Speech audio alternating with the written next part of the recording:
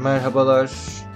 Bugün MSI'ın GTX 1660 Super Gaming X modelini inceleyeceğiz. 6 GB RAM'i var, 14000 MHz hızı var, GDDR6 DirectX 12 desteği var.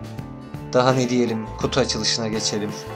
Oyun performansıyla ilgili de bir video hazırladım. Kanalda bulabilirsiniz. Videonun sonuna link bırakacağım. Premium ürünlerden değil tabi artık RTX'ler premium olduğu için yine de premium bir kutu açılış hissi yaratıyor mu bu siyah zarfla biraz. İçinden MSI'ın alışık olduğumuz kağıt ıvır zıvırları çıkıyor. Teşekkür belgesi gibi. Beni şaşırtan bir şey var.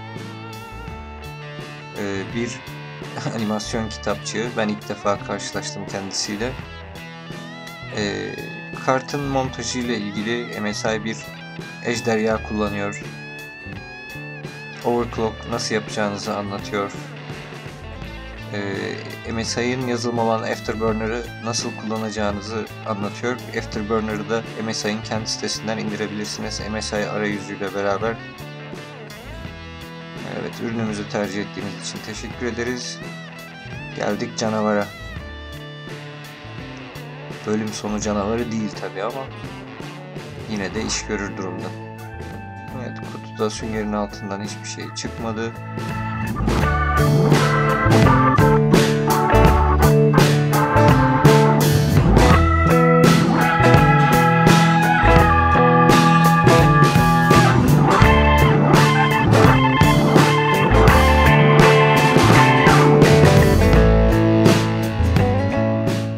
Birazdan kasaya montajını da göreceğiz.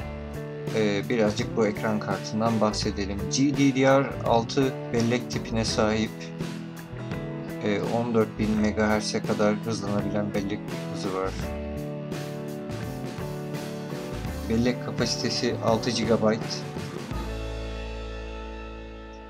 Bir tane HDMI çıkışı, 3 tane display portu var. Maksimum çözünürlük desteği 7680'e 4320 yani yaklaşık 8K. Aktif soğutma özelliği var. Bu da belirli bir dereceye kadar fanların hiç dönmemesi anlamına geliyor. Yani ekran kartını aldık, e, fanları hiç dönmüyor demeyin.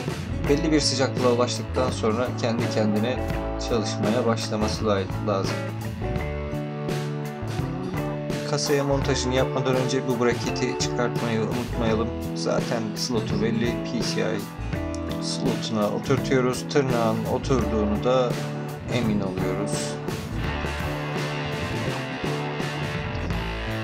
Sonrasında da yandaki vidasından kartı sabitleyeceğiz. Evet montajı da bu kadar basit.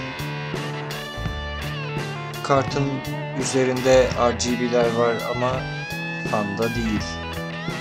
Fanın kenarında. Kartın oyun performansını görmek için sağ üstteki videoya tıklayabilirsiniz. Bizden bu kadar. Hoşçakalın.